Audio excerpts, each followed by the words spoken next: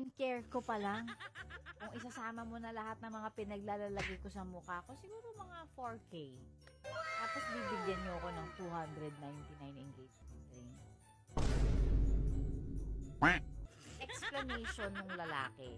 Sabi dun sa post o dun sa explanation na breadwinner daw siya. Marami siyang struggle sa buhay. At yung singsing na binigay niya, sabi niya, it's a promise ring.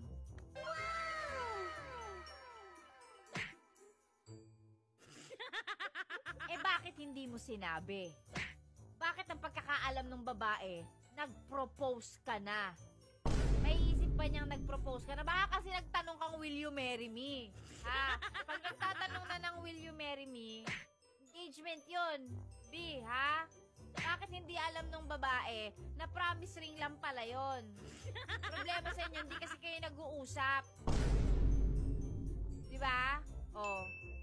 Ha? Marunong mag-promise-promise ring na yan, pero hindi naman marunong makipag-communicate.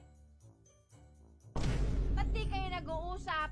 Nadamay nyo pa kami, stress na stress kami. Nag-jowang to, hindi kayo nag-uusap. May pa-promise ring, promise ring pa kayong nalalaman. Quack.